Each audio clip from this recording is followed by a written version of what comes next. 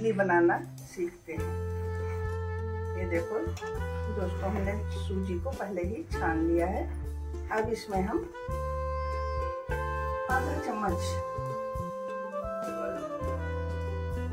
ये देखिए, आधा चम्मच हम इसमें नमक डाल लेते हैं। नमक हल्का सा ही डालेंगे, क्योंकि चटनी के साथ हमें खानी होती है। ये देखिए, ये हमारा आधा चम्मच मीठा सोडा है। उसको हमने इसमें डाल दिया।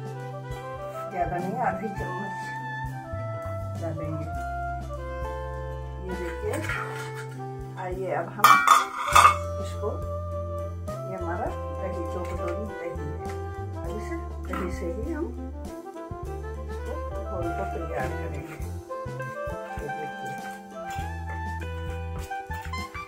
कटोरी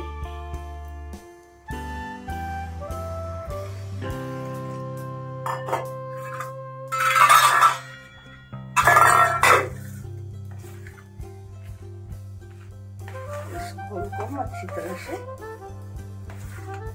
मिक्स कर लेंगे। इसमें हमने कुछ भी नहीं डाला है, थोड़ा सा नमक और मीठा सोडा।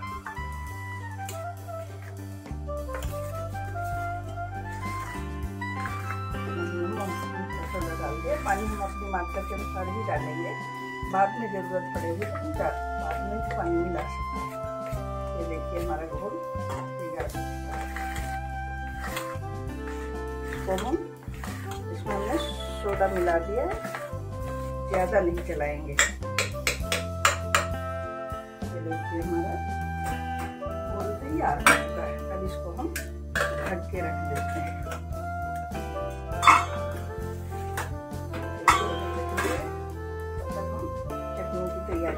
तैयारी कर लेते हैं। की चटनी हमें। नारियल की चटनी ज़्यादा अच्छी लगती है। ये देखो, चटनी ये हमने। मिर्ची धो के रख ली है। चार मिर्ची हमने डाली है। ये थोड़ा सा लहसुन डाला है। चार, पाँच जवे लहसुन डाला है।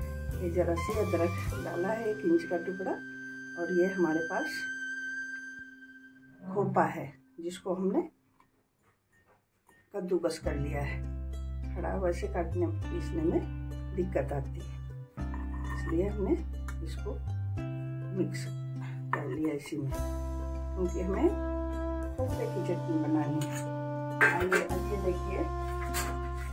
इसमें हम थोड़ा सा एक नींबू निचोड़ लेते हैं।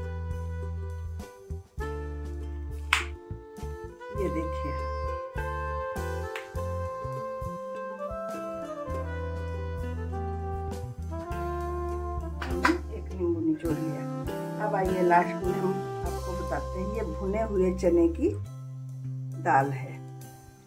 ये मार्केट से मिल जाती है। इसको हम चटनी में यूज़ करते हैं। इससे हमारा चटनी का टेस्ट बहुत अच्छा आता है। ये देखिए। दोस्तों, वीडियो को आप पूरा देखना। चैनल चैनल को लाइक, सब्सक्राइब और कमेंट किए बगैर मत जाना। थोड़ा सा पानी डाल देते हैं। इसमें हम, थोड़ा नमक भी ऐड करेंगे। लगभग एक चम्मच हमने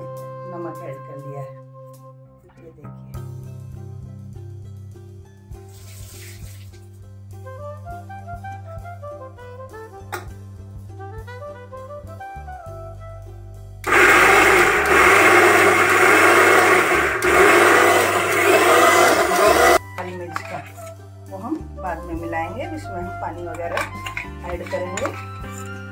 उसके बाद फिर तड़का लगाएँगे। इसको हम पहले तड़के का देखिए हमारा तेल गरम हो चुका है। अब हम इसमें तड़का लगाएँगे।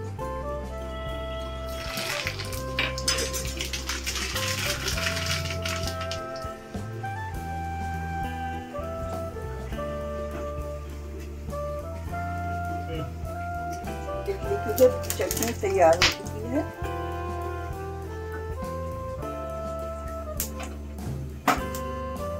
अब उसमें हम, ये देखो, ये तड़का छोड़ेंगे।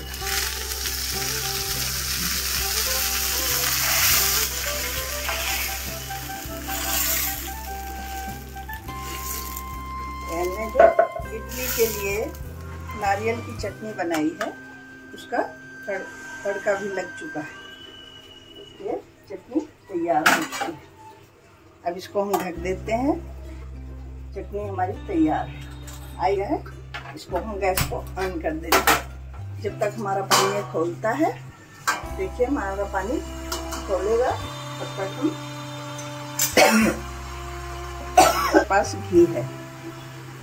और इन कटोरियों में हमने इडली बनानी है।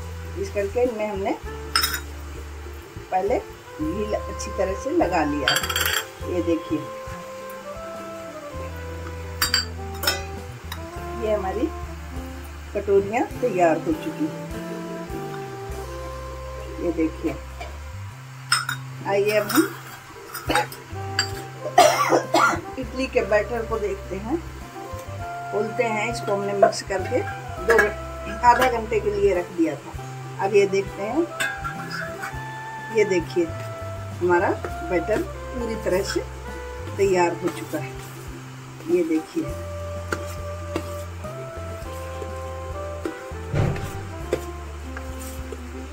इसमें हमें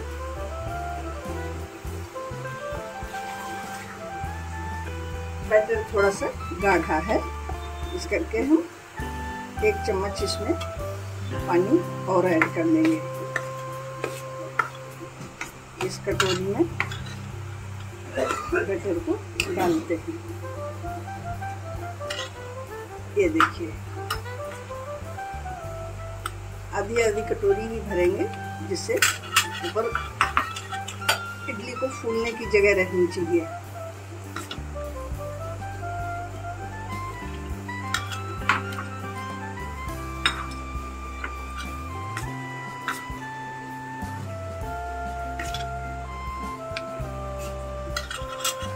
ये देखिए। हमारा ये तैयार हो चुका है। अब हम पानी को देख लेते हैं। हमारा पानी खोलने की आ गया है। पानी में हमारे आवाज़ उठने लगी है। बस हमारा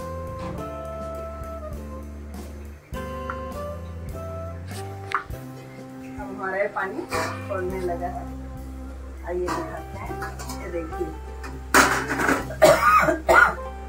पानी हमारा खोल चुका है। अभी हम इसको ढक देते हैं। और ये हम इसमें चारों कटोरियाँ रख देते हैं। करीब 10 मिनट इसमें लगेंगे बनने में। अब हम इसको अच्छी तरह ढक्कन से ढक देते हैं। और अब हम 10-12 मिनट बाद फिर देखेंगे। तैयार हो चुका है देखो इसमें चाकू डुबा रहे हैं कुछ भी नहीं लग रहा है देखिए देखिए अब हम गैस को ऑफ़ कर देते हैं ये देखिए गैस में ऑफ़ कर दिए और ये अब हम नीचे निकाल के रख देते हैं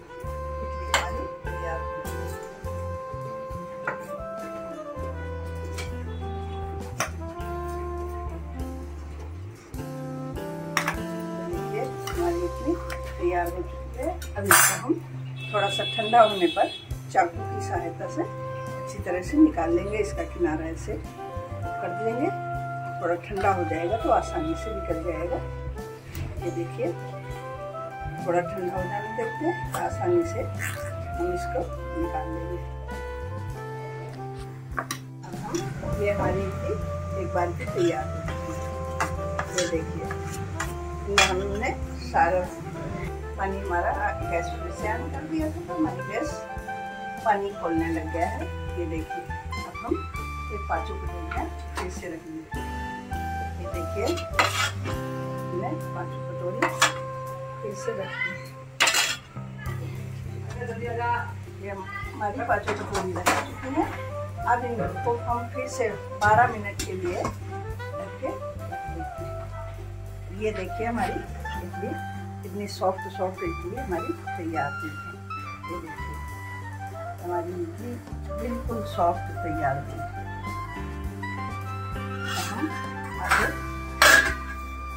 तैयार कर लेते हैं।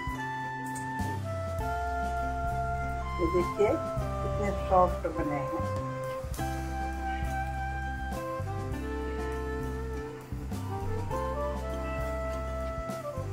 हमारी इडली तैयार है। पूरी तरह से एकदम सॉफ्ट सॉफ्ट